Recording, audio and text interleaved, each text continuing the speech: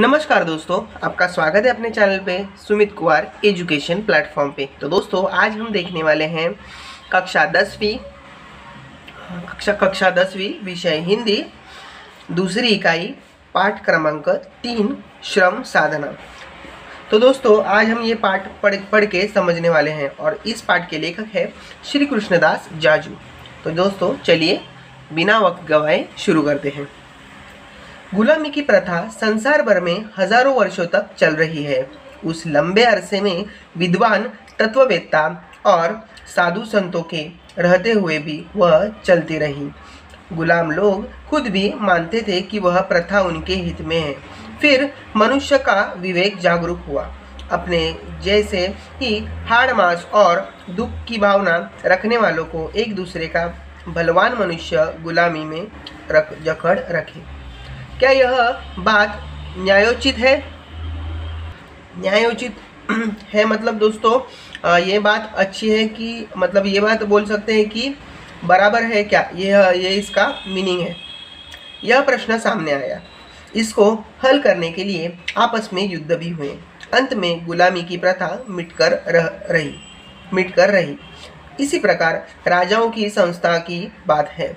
जगत भर में हज़ारों वर्षों तक व्यक्तियों का, बादशाहों का राज चला। पर अंत में क्या किसी के एक व्यक्ति को हज़ारों आदमियों को अपनी हुकूमत में रखने का अधिकार है? यह प्रश्न खड़ा हुआ। यह प्रश्न खड़ा हुआ। उसे हल करने के लिए माफ़ कीजिए, अनेक घनघोर युद्ध हुए और घनघोर युद्ध हुए और सदियों तक कहीं ना कहीं झगड़ा चला रहा चलता रहा। असंख्य लोगों को यातनाएँ सहन करनी पड़ी। यातनाएँ मतलब दर्द। अंत में राज प्रथा मिटकर मतलब राजा राजा जो राज करते हैं वो सब सिस्टम मिट गई और राज सत्ता प्रजा के हाथ में आ गई। मतलब बोल सकते हैं हम आ, लोगों का राज्य ऐसा बोल सकते हैं वो आ गया। उसमें राजा आ, राजा ये चीज़ ही नहीं रही उस समय अभी। हज़ारों वर्षों तक चलती हुई मान्यताओं को छोड़ दे मान्यताएँ छोड़ देनी पड़ी। मतलब जुने जुना मतलब बहुत पहले समय से जो प्रथा आ, आ रही थी वो सब छोड़ छोड़ दी गई। और ऐसी ही कुछ बातें संपत्ति के स्वामित्व के बारे में भी हुई। मतलब संपत्ति का स्वामित्व मतलब संपत्ति का मालिक ऐसा बोल सकते हैं हम। संपत्ति के स्वामित्व और उसके अधिकार की बात जानने के लिए यह समझना ज़रूरी है कि संपत्ति किसे कहते हैं और वह बनती कैसे है। आमतौर पर माना जाता है कि रुपया, नोट, सोना, चांदी का सिक्का ही संपत्ति है, लेकिन यह ख्याल गलत है क्योंकि ये तो संपत्ति के मापतोल के साधन मात्र है। मतलब इससे हम संपत्ति का मापन कर सकते हैं कि इसकी सा, इसकी संपत्ति ज़्यादा है और इसकी संपत्ति कम है। संपत्ति तो वे ही चीज़ हो सकती है जो किसी न किसी रूप में मनुष्य के उपयोग में आती है। उनसे मैं कुछ ऐसी है, उनमें से कुछ ऐसी है जिनके बिना मनुष्य ज़िंदा नहीं रह सकता। एवं कुछ सुख सुविधाएँ और आराम के लिए होती हैं। संपत्ति कुछ सुख सुविधाएँ और आराम के लिए ही होती है। अन्न, वस्त्र और मकान मनुष्य की प्राथमिक आवश्यकता है। जिनके बिना उसकी गुजर बसर नहीं हो सकती। इनके अलावा दूसरी अनेक चीज़ें हैं जिनके बिना मनुष्य रह सकता है। प्रश्न उठता है कि संपत्ति रूपी ये सब चीज़ें बनती कैसे हैं? सृष्टि में जो नाना विध द्रव्य तथा प्राकृतिक साधन है नाना विविध मतलब मित्र, दोस्तों नाना विविध मतलब अलग अलग तरह के, उनको लेकर मनुष्य, उनको लेकर मनुष्य शरीर श्रम करता है, तब यह काम की चीज़ें बनती हैं। अंततः संपत्ति के मुख्य साधन दो है, सृष्टि के द्रव्य और मनुष्य का शरीर श्रम। यंत्र से कुछ चीज़ें बनती बनती दिखती है, पर वे यंत्र भी शरीर श्रम के, शरीर श्रम से ही बनते हैं और उनको चलाने में भी प्रत्यक्ष या अप्रत्यक्ष शरीर श्रम की आवश्यकता होती है। केवल बौद्धिक श्रम से कोई उपयोग की चीज़ नहीं बन सकती, अर्थात बिना शरीर श्रम के संपत्ति का निर्माण नहीं हो सकता। मतलब दोस्तों, इसमें बताया गया है कि बुद्धि का इस्तेमाल पूरी तरह से किया, फिर भी कई कई चीज़ों में बौद्धिक बौद्धिक चीज़ों का उपयोग नहीं होता। कहीं कई चीज़ कहीं कई जगहों पे श्रम ही उपयोगी आता है। संपत्ति के स्वामित्व में शरीर श्रम करने वालों का स्थान क्या है? जो प्रत्यक्ष शरीर श्रम के काम करते हैं, उन्हें तो गरीबी या कष्ट में ही अपना जीवन बिताना पड़ता है। और उन्हीं के द्वारा उत्पादित संपत्ति दूसरे थोड़े से हाथों में ही इकट्ठी हो सकती है इकट्ठी होती रहती है। श्रमजीवियों की बनाई हुई चीज़ें व्यापारियों या दूसरों के हाथों में जाकर उनके उनके लेन देन से कुछ लोग मालदार बन जाते हैं। वर्ष भर मेहनत कर किसान अन्न पैदा करते हैं, लेकिन बहुत दफ़ा तो उनकी खुद की आवश्यकताएँ भी पूरी नहीं हो सकती पर वही अनाज व्यापारियों के पास जाकर उनको धनवान बनाता है। संपत्ति बना बनाते हैं मजदूर और धन इकट्ठा होता है इनके पास जो केवल व्यवस्था करते हैं मजदूरी नहीं करते। मतलब दोस्तों मैं आपको उदाहरण देता हूँ। उदाहरणार्थ एक श, एक श, एक किसान है वो बहुत अच्छी फ़सल उगाता है। पर दोस्तों जो व्यापारी लोग होते हैं जो उससे खरीदते हैं वो बहुत कम कीमत पे खरीदते हैं और उसकी जो अपने मार्केट होते हैं जो अपनी मंडई होती है उधर बहुत डिमांड होती है उनकी। तो वो क्या करते हैं कि किसान से अगर उन्होंने एक रुपये से कुछ चीज़ ली तो वो उधर जाके पाँच या दस रुपये में वो चीज़ बेचते हैं। तो दो, दोस्तों देखा जाए तो जो मेहनत कर रहा है जो इसके लिए पसीना बहा रहा है उसे कुछ नहीं मिल रहा है। उसके बावजूद जो मेहनत नहीं कर रहा है थोड़ी सी बुद्धि का वापर कर रहा है उसको बहुत सारा धन मिल रहा है। तो दोस्तों हमें ये सब इसमें समझ में आता है। जीवन, निर्वाह या धन कमाने के लिए अनेक व्यवसाय चल रहे हैं। इनके मोटे तौर पर दो वर्ग किए जा सकते हैं। कुछ व्यवसाय ऐसे हैं जिनमें शरीर श्रम आवश्यक है और कुछ ऐसे जो बुद्धि के बल पर चलाए जाते हैं। पहले प्रकार के व्यवसाय को हम श्रमजीवियों के व्यवसाय कहें और दूसरों को बुद्धिजीवियों के। राजकाज चलाने वाले मंत्री आदि तथा राज के कर्मचारी ऊँचे ऊँचे पद से लेकर नीचे के क्लर्क तक, न्यायाधीश, वकील, डॉक्टर, अध्यापक व्यापारी आदि ऐसे हैं जो अपना भरण पोषण बौद्धिक काम से ही करते हैं।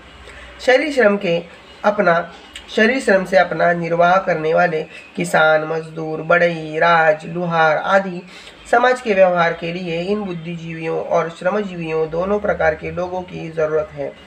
पर सामाजिक दृष्टि से इन दोनों के व्यवसाय में मूल्यों में बहुत सारा फ़र्क है।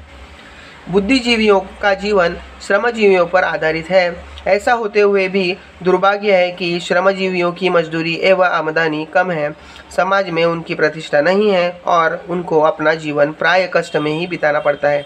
तो दोस्तों, मैंने जो पहले आपको उदाहरण दिया, ये उदाहरण वैसा ही है, क्योंकि जो श्रम करते हैं, जो पसीना बहाकर जो अपनी फ़सल उगाते हैं, उनको कुछ नहीं मिलता।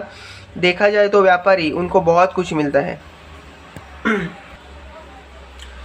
व्यापारी और उद्योगपतियों के लिए अर्थशास्त्र ने वह नियम बताया है कि खरीद खरीद सस्ती से सस्ती हो और बिक्री महँगी से महँगी। मुनाफे की कोई मर्यादा नहीं जो कारखाना मजदूरों के शरीर श्रम से के बिना चल आ, बिना चल ही नहीं सकता उससे उसके मजदूर को हज़ार पाँच सौ मासिक से अधिक भले ही न मिले, पर व्यवस्थापकों को पूंजी लगाने वालों को हज़ारों लाखों का मिलना गलत गलत ही नहीं माना जाता। मनुष्य समाज में, मनुष्य समाज में रहने से अर्थात समाज की कृपा से ही व्यवहार चलाने लायक बनता है। बालक परा प्राथमिक शाला से लेकर देश विदेश के ऊँचे से ऊँचे महाविद्यालयों में सीखकर जो योग्यता प्राप्त करते हैं वे शिक्षालय या तो सरकार द्वारा चलाए जाते हैं, जिनका खर्च आम जनता से टैक्स के रूप में वसूल किया जाता है, पैसे से चलाया जाता है, या दानी लोगों की कृपा से। जो कुछ पढ़ पढ़ने की फ़ीस दी जाती है, वह तो खर्च के हिसाब से नगण्य है।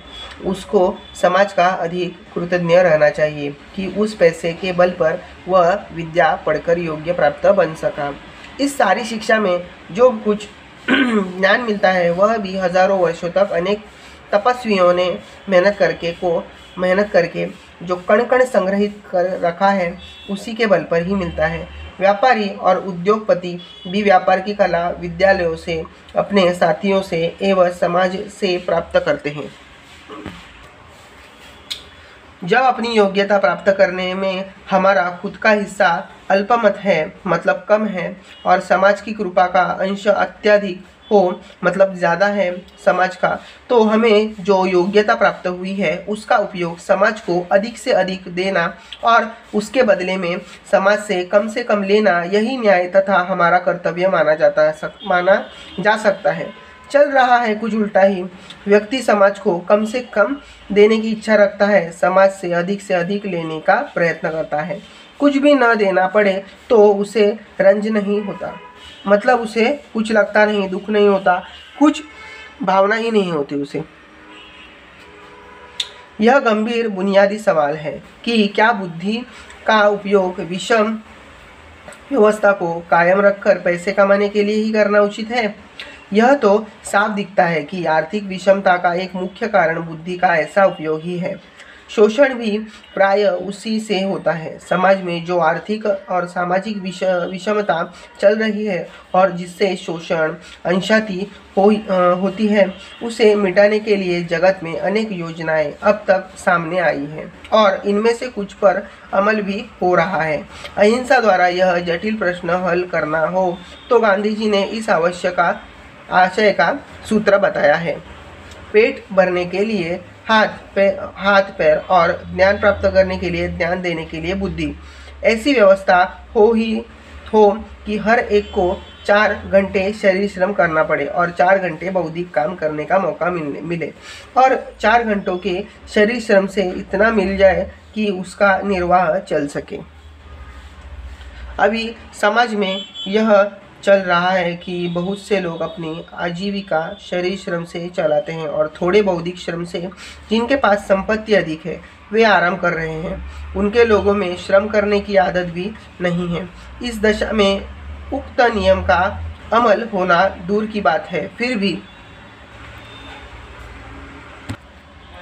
उसके पीछे जो तथ्य है मतलब उसके पीछे जो सच है, वह हमें स्वीकार करना चाहिए। भले ही भले ही हमारी दुर्बलता के कारण हमें उसे ठीक तरह से न निभा सके, क्योंकि आजीविका की साधन सामग्री मतलब आजीविका मतलब दोस्तों मतलब बोल सकते हैं कि हमारे जीने की जो प्रयास है उसे हम आजीविका बोल सकते हैं, कि साधन सामग्री किसी न किसी के श्रम बिना हो ही नहीं सकती।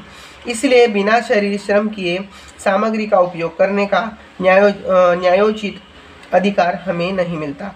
अगर पैसे के बल पर हम सामग्री खरीदते हैं तो उस पैसे की जड़ भी अंत में श्रम ही है। मतलब हम जो चीज़ें करते हैं, हम जो उपजीविका अपनी निभाते हैं, हम जो अपने अपने आप को जो चाहिए वो लेते हैं, उस चा, उस, उसके लिए हमें श्रम करना पड़ता है। धनिक धनिक लोग मतलब जो पैसे वाले लोग हैं, अपनी ज़्यादा संपत्ति का उपयोग समाज के हित में, ट्रस्टी के तौर पर करें करें। संपत्ति का दान, यज्ञ और भूदान यज्ञ का भी आखिर आशय क्या है? अपने पास आवश्यकता से जो कुछ अधिक है, उस पर हम अपना अधिकार न समझकर उसका उपयोग दूसरों के लिए करें। यह भी बस बहस चलती है कि धनिकों के दान से सामाजिक उपयोग के अनेक बड़े बड़े कार्य होते हैं, जैसे कि अस्पताल, विद्यालय आदि। अगर व्यक्तियों के पास संपत्ति इकट्ठी न हो तो समाज को ये लाभ कैसे मिलेंगे? वास्तव में जब संपत्ति थोड़े से हाथों में बंदी न रहकर समाज में फैल रही, रहेगी, फैली रहेगी तो सहकार पद्धति से बड़े पैमाने पर ऐसे काम आसानी से चल चल, चलने लगेंगे। और इनका लाभ लेने वाले याचक या दीन की तरह नहीं, सम्मानपूर्वक लाभ उठाएँगे। अर्थशास्त्री कहते हैं कि उत्पादन की प्रेरणा के लिए व्यक्ति को स्वार्थ के लिए अवसर देने होंगे, वरना देश में उत्पादन और संपत्ति नहीं बढ़ सकेगी, बचत भी नहीं होगी। अनुभव बताता है कि पूंजी, गरीबी या बेकारी की समस्या हल हल नहीं कर सकी, की समस्या हल नहीं कर सकी है। नैतिक दृष्टि से भी स्वास्थ्य वृत्ति का पोषण करना योग्य नहीं है। नैतिक दृष्टि से स्वार्थ वृत्ति का पोषण करना योग्य नहीं है। स्वार्थ वृत्ति मतलब दोस्तों मतलब लालचीपन, ऐसे बोल सकते हैं। बहुत करके स्वार्थ का अर्थ होता है परार्थ की हानि। उसी से ही, उसी उसी में ही स्पर्धा बढ़ती है, जिसके फलस्वरूप कुछ थोड़े से लोग ही लाभ उठा सकते हैं। बहुसंख्यों को तो हानि ही पहुँचती है। मानवोचित सहयोग की जगह जंगल का कानून या मत्स्य न्याय चलता है। आखिर यह देखना है कि समाज का कल्याण किस वृत्ति से होगा। अगर समाज में स्वार्थ वृत्ति के लोग अधिक हों तो क्या कल्याण की आशा रखी जा सकती है? समाज तो परोपकार वृत्ति के बल पर ही ऊँचा उठ सकता है। संपत्ति बढ़ाने के लिए स्वार्थ का आधार दोषपूर्ण है। मतलब दोस्तों, इसमें हमें बताया गया है कि हमें स्वार्थ छोड़कर परोपकार मतलब दूसरों की मदद करनी चाहिए अथवा दूसरों को देना चाहिए। अपने पास जो संपत्ति है, उससे ज़्यादा अगर अपने पास है तो हमें वो दूसरों के ऊपर खर्च करनी चाहिए। दूसरों के अच्छे के लिए खर्च करनी चाहिए। उदाहरणार्थ, अस्पताल, शिक्षा तो दोस्तों, इससे ही अपना समाज ऊँचा उठ सकता है और संपत्ति बढ़ाने के लिए स्वार्थ का आधार यह दोषपूर्ण है। मतलब यह बहुत स्वार्थी वृत्ति है और स्वार्थ का रास्ता है, ऐसे बताया गया है। इस इस संबंध में कुछ भाई अमेरिका का उदाहरण पेश करते हैं। कहते हैं कि जिनके पास संपत्ति इकट्ठी हुई है, उन पर कर लगाकर कल्याणकारी राज्य की स्थापना की जाए। उसी आधार पर भारत को कल्याणकारी वेलफेयर राज्य बनाने की बात चल है। कल्याणकारी राज्य का अर्थ यह है, समझा जाता है कि सब तरह के दुर्बलों को राज्य सत्ता द्वारा मदद मिले। अर्थात बड़े पैमाने पर कर वसूल करके उससे गरीबों को सहारा दिया जाए। और भारत जैसे देश में क्या इस बात का बन पाना संभव है? प्राथमिक आवश्यकताओं के बारे में मनुष्य अपने पैरों पर खड़े रहने लायक हुए बिना स्वतंत्र नहीं रह सकता। किसी न किसी प्रकार उसे पराधीन रहना होगा। मतलब दोस्तों, जब तक आदमी खुद के पैरों पर खड़ा नहीं हो सकता मतलब उससे उसके जो मूलभूत मूलभूत, उसकी जो आवश्यकता है, अन्न, वस्त्र और जो निवास है, ये सब उसके पास नहीं हो तो दोस्तों वो स्वतंत्र कैसे है? इसमें यह बताया गया है। हमारी सामाजिक विचारधारा में एक बड़ा भारी दोष है। हम शरीर श्रम करना नहीं चाहते, वरन उसे हीन दृष्टि से देखते हैं और जिनको शरीर श्रम करना पड़ता है, उन्हें समाज करना पड़ता है। उन्हें समाज में हीन दर्जे का मानते हैं। अमीर या गरीब कोई भी श्रम करना नहीं चाहता। धनिक अपने पैसे, धनिक अपने पैसे के बल से नौकरों द्वारा अपना काम चला लेता है। गरीब भूख की लाचारी से श्रम करता है। हमें यह वृत्ति बदलनी चाहिए। शरीर श्रम की केवल प्रतिष्ठा स्थापित कर संतोष नहीं मानना है। इसके उसके लिए हमारे दिल में प्रीति होनी चाहिए मतलब प्यार होना चाहिए। आज श्रमिक भी कर्तव्य परायण नहीं रहा है। श्रम की प्रतिष्ठा बढ़ाना उसी उसी के हाथ में है। जिस श्रम में समाज को ज़िंदा रखने की क्षमता है, उस श्रम का सही मूल्य अगर श्रमिक जान लेगा तो देश में आर्थिक क्रांति होने में देर नहीं होगी। मतलब दोस्तों हमें इसमें क्या बताया है कि देखो हमारी सामाजिक जो विचारधारा है वो आ, उसमें ही दोष है। मतलब उदाहरणार्थ हम जो शरीर श्रम करते हैं जो मेहनत करते हैं उनको हम हीन दृष्टि से देखते हैं। बुरी मतलब बोलते हैं कि वो काम अच्छा नहीं है ऐसे हम मानते हैं। और वो काम दूसरे लोग गरीब लोग हो और अमीर लोग हो वो वो काम करने से कतराते हैं। ऐसा उसमें बताया है। पर दोस्तों इसमें ये बताया है कि हमें ये काम कामों को आ, बोलते हैं ना कि बड़े बड़ा मानना चाहिए इस कामों को इस काम को उसकी प्रतिष्ठा मिलनी चाहिए ऐसे ऐसे इसमें बताया है।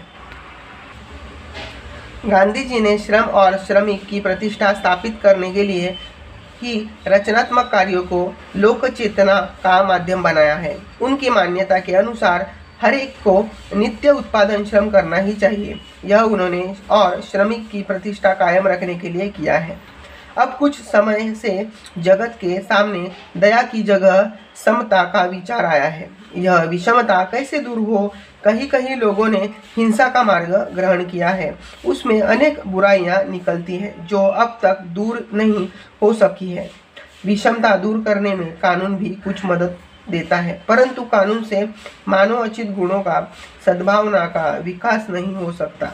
महात्मा जी ने हमें जो अहिंसा की विचारधारा दी है, उसके प्रभाव का कुछ अनुभव भी हम कर चुके हैं। भारत की परंपरा का ख्याल रखते हुए यह संभव दिखता है कि विषमता का प्रश्न बहुत कुछ हद तक अहिंसा के इस मार्ग से हल हो हल हो सकना संभव है।